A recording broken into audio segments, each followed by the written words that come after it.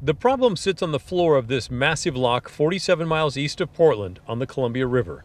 It fills with as much as 60 feet of water to help ships get around Bonneville Dam.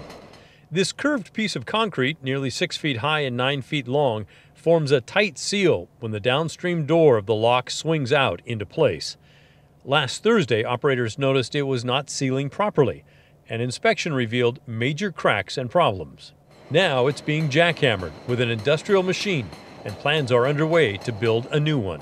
At this point, we do not have a timeline. Um, we have further inspections performed. We want to make sure that we're careful not to rush to failure, make sure we get a permanent fix in there and get it fixed correctly this time to minimize impact to our stakeholders. In the meantime, all river traffic that must pass through here is stuck. Shaver tug operator Bubba McSherry sent me this video to show some of the impact. He's part of a team waiting to take 10 barges filled with wheat down to Portland or Vancouver to be loaded onto ships for Asia. Instead of moving, they're tied up just above the dam, waiting. Right now is our harvest season, and so we see a lot of that commodity flow on our river during this time.